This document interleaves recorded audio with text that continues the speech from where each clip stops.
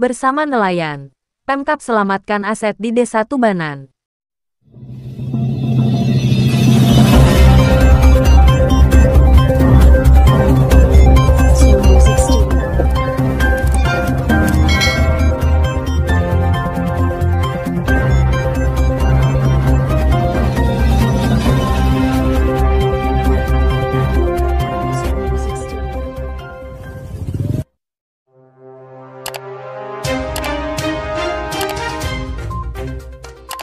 Jepara Update, Pemerintah Kabupaten Pemkap, Jepara bersama dengan para nelayan Desa Tubanan, Kecamatan Kembang melakukan pembongkaran pondasi atau portal yang menghalangi jalan yang diklaim milik Agus HS.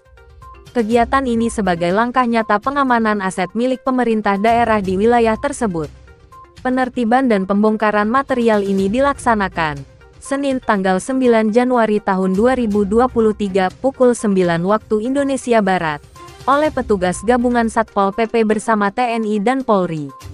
Dengan menggunakan alat berat berupa ekskavator, eksekusi dipimpin oleh pelaksana tugas PIT. Satpol PP Anwar Sadat, ikut dalam penertiban. Satpol PP Provinsi Jateng, dan dinas terkait. Sempat terjadi ketegangan antara petugas dan kelompok Agus HS yang mengklaim kepemilikan tanah tersebut. Bahkan sejumlah orang dikerahkan untuk menghalau petugas yang melaksanakan penertiban. Namun, dengan kesiapan petugas Satpol PP, yang didukung TNI, Polri proses pembersihan material itu berhasil dilaksanakan. Hingga kini, sudah tidak ada lagi portal berupa pondasi batu, yang menghalangi akses jalan tersebut. Semuanya sudah dibersihkan dengan alat berat.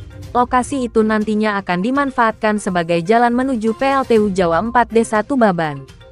Pit, Kepala Satuan Polisi Pamong Praja Jepara Anwar Sadat mengatakan penertiban dan pengamanan aset Pemkap ini menindaklanjuti surat dari Gubernur Jawa Tengah Ganjar Pranowo nomor 180.0021566 tentang rekomendasi penyelesaian masalah aset daerah dan hasil persiapan pembongkaran bangunan dan pengamanan aset Pemkap di sekitar PLTU Jawa 4 Desa Tubanan Kecamatan Kembang pada tanggal 27 Desember tahun 2022.